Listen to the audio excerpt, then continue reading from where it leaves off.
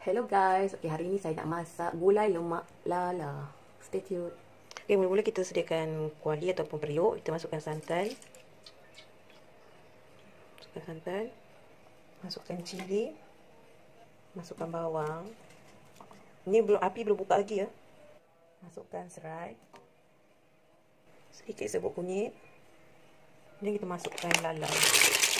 Hmm, dia ni sekejap je lah ni. Dia perlu lama sangat sebab dia seafood kan. So, kita buka api. Yang perlahan je. Tak perlu kuat. Kita kacau je lah.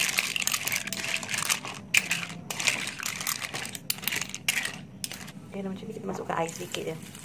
Untuk, untuk kuah kan. Hmm. So, kacau lah sampai mendidih.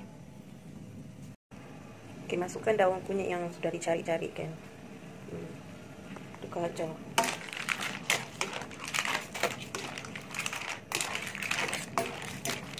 Okey, masukkan garam.